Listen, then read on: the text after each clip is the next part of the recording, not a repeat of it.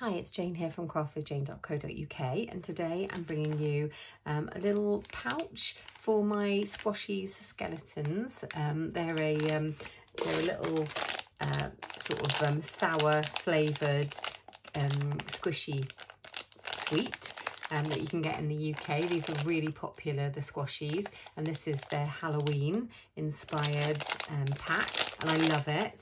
Um, I don't actually have any Halloween paper at all, or any Halloween stamp sets this year, so my um, sort of challenge to myself was that I would make something to hold these little squashies in um, to gift to my uh, nieces. Um, and uh, I just wanted to be able to hand them something. I thought I could put a little tag on the back with their names and a little spooky message on. Um, and I just wanted something that I could jazz them up with rather than just handing them a pack of sweets. So this is what I designed um, and I love it. Absolutely um, think it's a really cute and fun way of just, just sprucing it up a little bit. So I've used the designer series paper called Unbounded Beauty and the reason I've used this is because it's got this um, pink and orange in it and they match the, um, the pink and orange sweets that are inside here.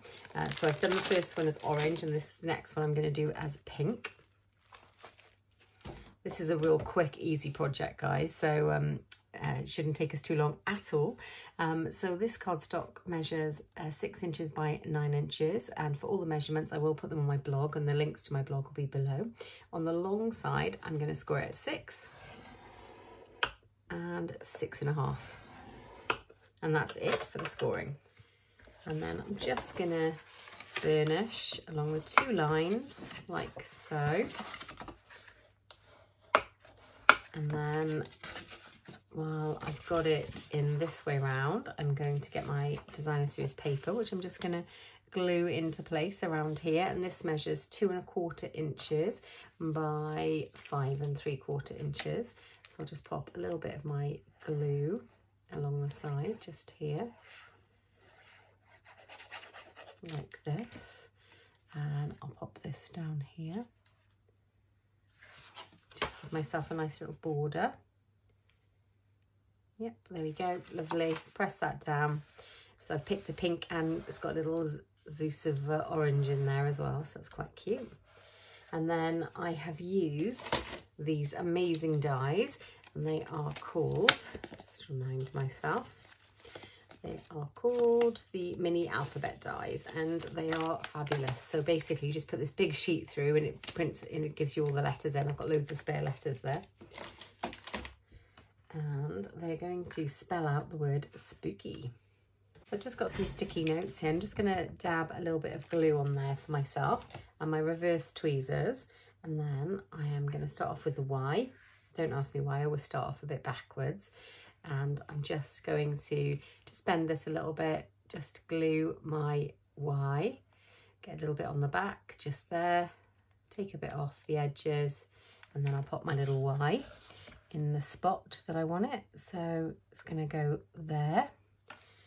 So that's my Y. My next letter is my K. So I'm just going to, oops, pop my little tweezers on it. Just like this like that. And then same things apply, just get a little bit of the glue on and just smoosh it off. So it just picks up on the back, like so. And then I'll pop my K. And I'm just doing it by eye. It's completely up to you how you space it, but this is how I'm to do it. Just pop a little O on the back again.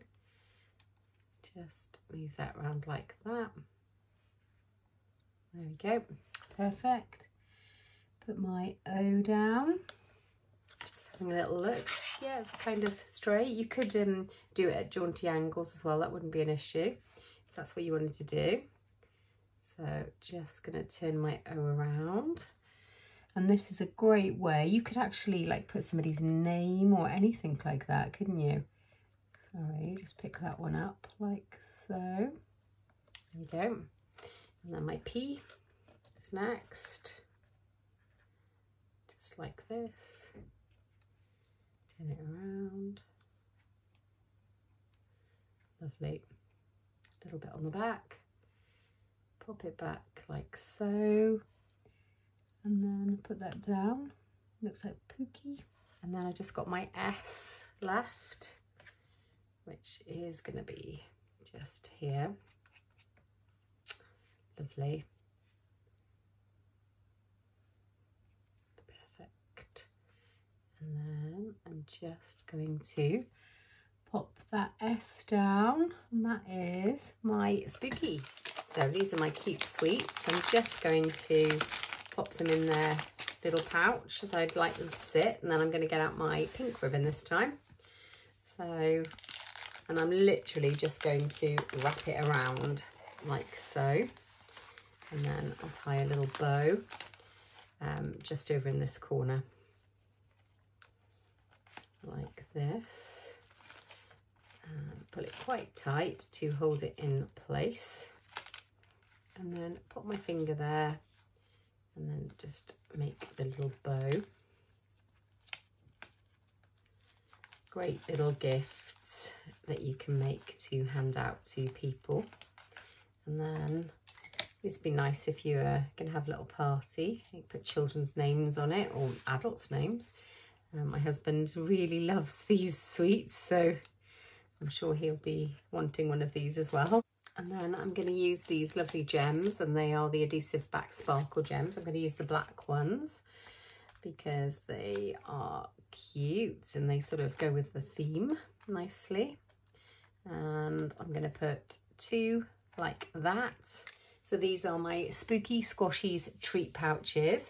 Um, nice way to um, give a little bit of a Halloween twist. So yeah, I just thought um, be a nice little way to show you how to make something themed without necessarily, uh, you know, with maybe what you've got in your scrap supply.